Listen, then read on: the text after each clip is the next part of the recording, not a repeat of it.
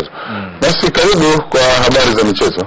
Naam, shukrani sana rutinga naonga Mtazamaji wa TBC1, karibu sasa katika habari za michezo na burudani. Simba jana imetwaa taji la kombe la shirikisho baada ya kuifunga mbasi ya Mwanza kwa bao mbili kwa moja mchezo uliofanyika katika uwanja wa Jamhuri mjini Dodoma.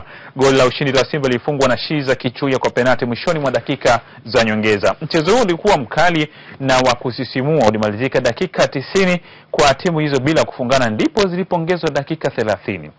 Kwenye dakika kumi na tano za mwanzo Fredrick Blagnan alifungia Simba bao la kwanza na Ndaki Robert akasawazisha akaisawazishia mbao bao hilo, na kwenye dakika za mwisho mwisho Shiza Kichuya akafungia Simba goli la pili na la ushindi, uh, hivyo kuipa timu yake ubingwa na nafasi ya kushiriki michuano ya kombe la shirikisho mwakani elfu mbili na kumi na nane katika bara la Afrika. Kwa ushindi huo Simba imejinyakulia kombe na shilingi milioni hamsini ambapo imekuwa jambo la furaha kwa timu hiyo baada ya kupata nafasi ya kuwakilisha nchi katika mashindano ya kombe la shirikisho baada ya kushindwa kushiriki michuano ya kimataifa kwa muda mrefu. Wengine mitandaoni huko wanasema sasa hivi pamegeuka tomato, ni pekundu kweli kweli, kila kona watu wanapeperusha bendera nyekundu.